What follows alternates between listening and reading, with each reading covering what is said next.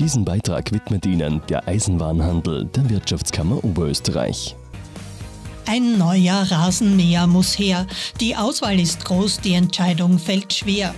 Denn das Gerät muss exakt auf die jeweiligen Anforderungen abgestimmt sein. Ja, bei den Rasenmähern, da unterscheiden wir äh, je nach Antrieb einmal zwischen Elektromäher, Akkumäher und benzinbetriebenem äh, Rasenmäher. Und wichtig ist natürlich das Grundstück, die Rasenfläche. Auf die kommt es an, auf die Beschaffenheit und auf die Größe des Grundstücks. Auch die Schnittbreite hängt von der Rasenfläche ab und es gibt noch mehr zu bedenken. Grundsätzlich bei einem Benzinmotor die PS-Leistung, den Hubraum, dann den Radantrieb, die Räder, die Lagerung der Räder, damit er möglichst leicht zu schieben geht, das Fangergebnis, die Fangbox, die Fanggröße, beziehungsweise auch die Varianten des Mähens, nämlich Fangen, Mulchen oder Seiten auswerfen. Die persönliche Beratung bringt auch so manchen Tipp. Also man sollte ihn auf keinen Fall zu kurz mähen.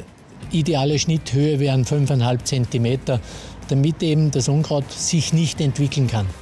Und so ist man eben nur im Fachhandel wirklich gut beraten. Wir vom Fachhandel sind für Sie da.